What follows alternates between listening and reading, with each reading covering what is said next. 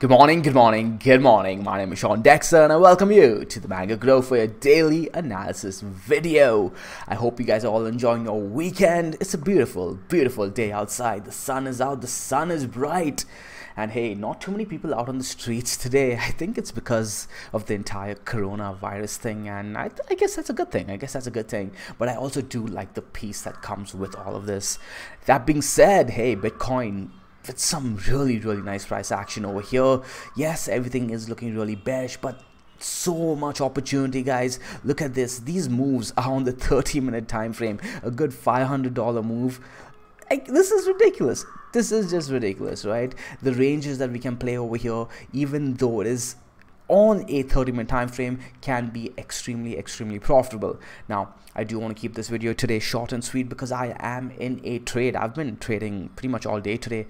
So I'm scalping in and out building a nice nice BTC account over here. And this is what the bear market allows you to do guys. If you guys were following us during even let's go back on over to the monthly actually all the way over here right? This was opportunity. This was the time where you could be building your account not only learning how to play in a very very difficult market but hey when Bitcoin is sitting at low prices that is an opportunity because the ranges allow you to make more money. Now here's the thing right? Over here guys bitcoin was not volatile at all okay? Not at least for the months that i remember because this month over here december was volatile but these two months over here was pretty brutal today, at least this weekend, Bitcoin has been very, very nice to us. And let's go ahead and talk about it. I am looking at Bitcoin on the 30 minute, and you guys don't see me talk about the 30 minute time frame, not even the one hour time frame a lot usually, but we will be talking about that today. We do have what does look like a symmetrical triangle over here within which there is a falling channel.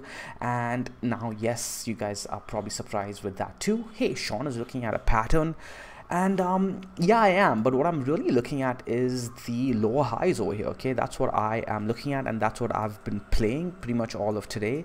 Looking at all these lower highs and I didn't take this trade over here. I took this one over here. I took this one over here actually too. So I've taken this one and this one and um, this one too. I did mess up on a certain position right over here. I was supposed to be taking profit and I just completely, completely missed it. I messed up on my execution on Deribit and this is what I um, talk about guys in terms of um, there being three parts of a trade right? There is one the timing okay you got to get the timing right. There is the direction of course you got to get the direction right. And then um, there's also the third part which is the actual execution. So I, I was aiming to take profits over here. I did not had to see this bounce on me and it happened um, pretty fast and I kept I kept like pulling back. Anyways anyways this is I messed up on my mindset being distracted etc etc and anyways I added to my short position over here and I took some profits over here not the entire profits that I was looking to take over here. I do want to talk about this though. I do want to talk about my mistakes when it comes to these kind of things because I think traders don't talk about that and these execution mistakes matter especially when you're trading throughout the day and you make you make mistakes because you're tired right? That is a factor that you need to take um, into consideration anyways um, going back to what I was talking about um, yeah we are looking at this symmetrical triangle and a symmetrical triangle could break to either side either to the upside or to the downside right? That's essentially what the formation is telling you. And what are we looking at? We're looking at these lower highs but we're also looking at these higher lows. So what is it telling you? That hey yes the bulls are stepping in quicker quicker and the bears are also stepping in quicker and quicker. The bulls are getting eager to buy at higher levels. The bears are getting eager to sell at higher levels. Who wins this battle? Find out on the next episode of Dragon Ball Bitcoin. So yeah, this could break to either side, right? I'm just um, playing the range and the range is essentially a triangle until it does decide what it wants to do and we do have a measured move over here to be had i guess you could do something like this um, to the upside we're looking at around 6500 i guess you could and this is me being a little bit more aggressive with this so we could be looking at this horizontal right over here but if you're being a little bit more conservative you could take these guys over okay? This high or low and what we get pretty much the same thing I guess. So yeah 6300ish and towards the downside we would be looking at around 4500 okay these are rough targets though so be very careful when it comes to markets that are being this volatile. We could go higher. We could get um, sold into a lot quicker. But I do think that if we actually break this on over to the upside I think Bitcoin will test at the very least 6200 to 6500 I will go on over to the high time higher time frames very soon and talk about how that does line up that does line up. But but but um be very uh, I, to, just to be very clear guys i am playing the bearish side of this because it is just um the safer thing to do considering the trend. That being said with a bounce like this with a bounce like this the bull case is very very intact over here because you do not see a 50% bounce unless we have actually seen um, a major capitulation or a major bounce but that being said i always err on the side of caution and i am getting mentally prepared for a move possibly down to 3100 3200 if we actually do come down test that 4100 4200 region and actually spill on over back on over to the range that we were playing all the way in 2018 right? Okay so going back to um, what we were talking about yeah we have falling channel over here. We have a symmetrical triangle. I will be happy if bitcoin breaks on over to the upside over here. I am um, playing so I do have my positions still. I do still have my, my long positions on my um, futures, but I'm playing on a sub account where I'm building a short position in case we do break um, to the downside. For those of you who do, don't understand what I mean by a sub account, go ahead and watch my Deribit video where I do think I explain um, what a sub account is, right? But either way, it is pretty self-explanatory. So um yeah this is the low time frames i'm just uh, basically scalping in and out over here let's go ahead and talk about our time frames over over here we have the weekly and I do want to emphasize on this. This is more important. And by end of today I'll be getting out of all my scalp positions before I um, probably in the next couple of hours actually. Whether we break or not I'll be done for the day um, and I'll be tomorrow I'll likely not be trading. I'll just be waiting for this weekly close. We are looking at this weekly 200 moving average right over here. Um, okay cool. So we are bouncing right now and living on it not not above it just yet right so the weekly 200 moving average is coming at 5504 and we want bitcoin okay? Not well we don't want bitcoin to do anything. We should be neutral as traders but um, I, I want bitcoin to close over this 200 moving average. That would be really really nice on the weekly. That would actually line up or that would give more credibility to this being the bottom right? The fact that we um, are seeing a massive wick like this 52% wick like this crushing major levels okay crushing um the 4200 level crushing this 5400 level and then um closing above all of it that would be a good sign that but we are not out of the woods just yet. We also do have this trend line coming in from these candle closes. I don't think I've drawn that perfectly. Let's go ahead and adjust that. So if you're using wicks or candle closes, it's not gonna make a big difference because it's pretty much the same thing. And if you do like, this is where you can um uh, kind of check your bias, right? This is what you do. You just do that, hide the candle that is currently in play then mark out these two candle closes then bring this out and then just stretch it. Stretch it without moving it on that side okay? And you want to see you want to make sure that you're not being biased and not adjusting it. And you can see that we are kind of living above it right? Now you guys know I do not play too much importance onto diagonals but this is interesting to watch because it's lining up with the 200 weekly moving average right? And that is a lot more objective. The reason I don't like diagonals is because they tend to be less objective. But over here when it does line up with something that is more objective it allows me to be a little bit more confident on what's going on over here. So if we do close above this um, we may have a freaking massive bull flag over here you could say right? Something like this.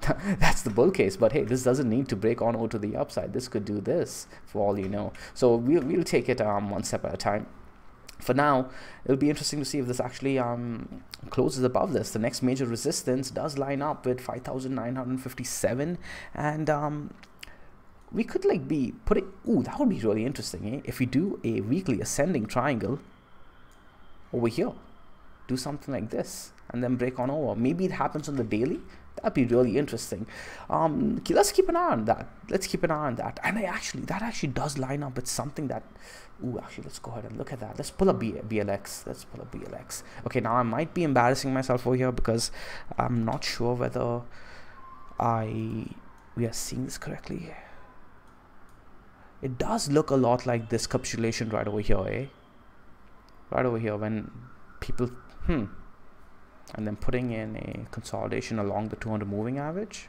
Okay i'm just thinking out aloud over here but you guys are you guys see what i'm what i'm looking at right? You guys see what i'm looking at. I, I have to spend some time um, on this. I don't want to um, talk talk uh, talk any TA that sounds like too much hopium. so um, there's enough hopium here already just by looking at this wick okay? There's enough hopium over here but it'd be really really interesting. What happened to this? Oh this is blx that's right. Okay let's go back on over to our chart. Um i do want to end this video really really quickly. I do want to go back to managing my position if i do need to get out of it.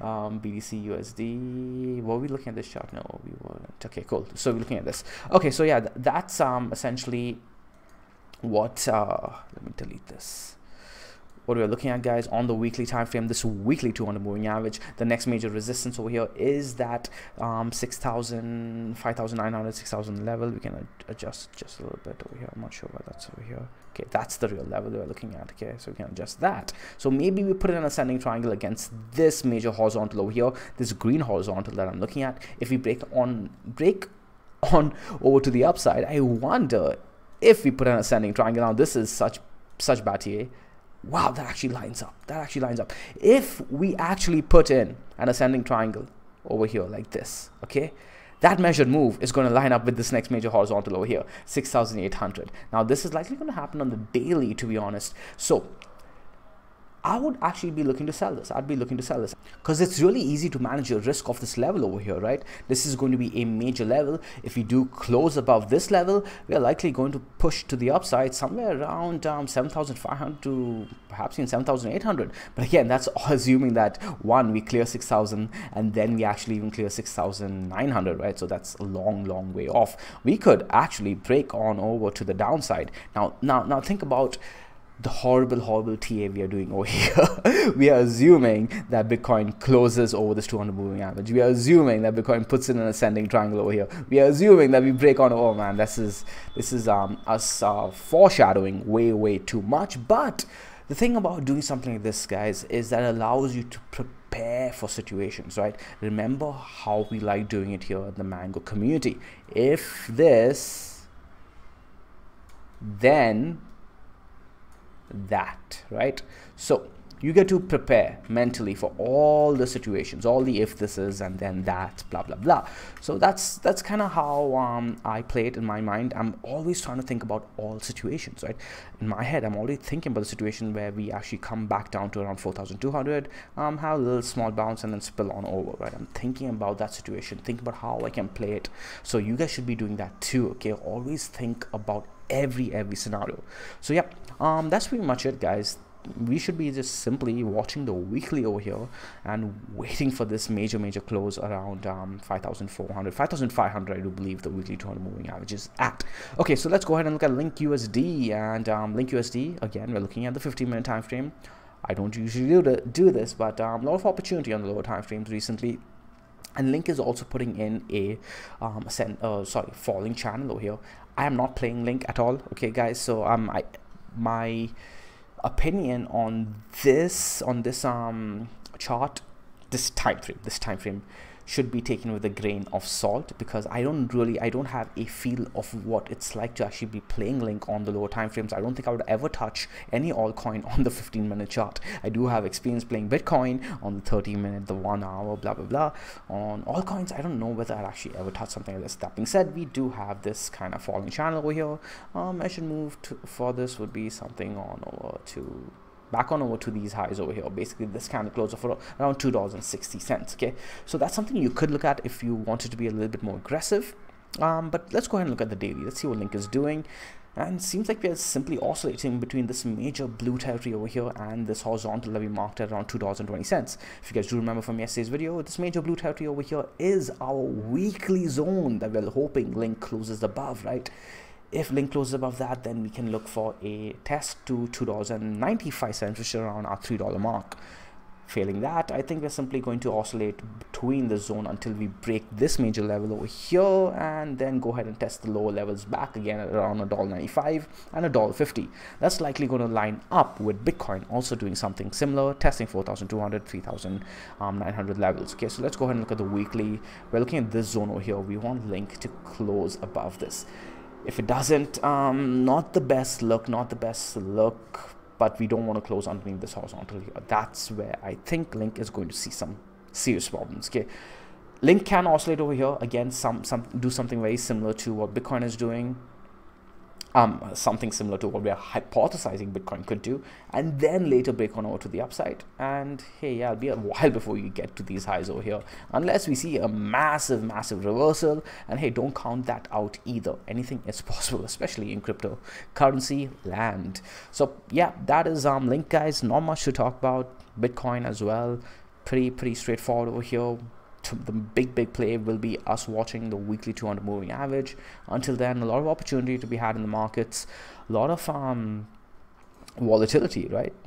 We can play this in and out in and out. Let's go ahead and look at the 30 minute quickly as you can see here we have the Ichimoku and it's beautiful how well the Ichimoku is lining up with all of our lines right? If we turn it off for a second you're going to see that the Ichimoku is pretty much saying that hey if we break down from here we're likely going to come down and test the bottom of the cloud over here. And what does that line up with? That lines up with our falling channel. If we break on over to the upside we still have that edge to edge trade possibility because hey the cloud is flattened on the top over here. And what does that line up with? That lines up with the break of our symmetrical triangle towards the upside coming around 5900 putting in a low high if we actually do get rejected over here. I do want to talk about that actually for a second. Um, let's turn off everything. Let's turn off everything.